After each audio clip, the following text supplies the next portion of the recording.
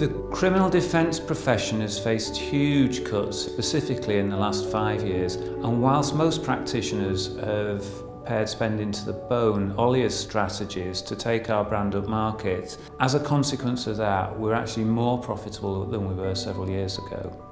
I think going forwards, working remotely will allow a solicitor to focus more efficiently on a case. They don't have to waste time travelling. They can allocate more resources and a higher proportion of their time to the, the legal side of their case. And I think it's a win-win in terms of the service to the client, but also in terms of the way in which the solicitor is able to work and also the solicitor's work-life balance.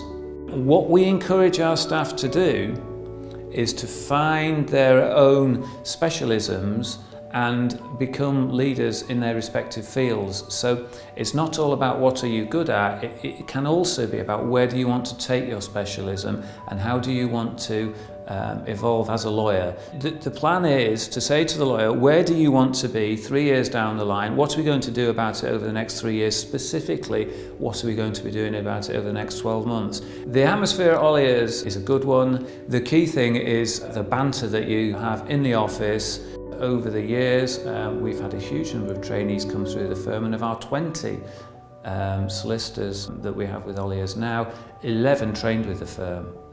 So it's a, it's a high retention rate. No one ever has to regard themselves as being on their own in terms of what steps to take next. The level of experience and seniority within the firm means that no one ever regards a problem as something that they have to deal with on their own.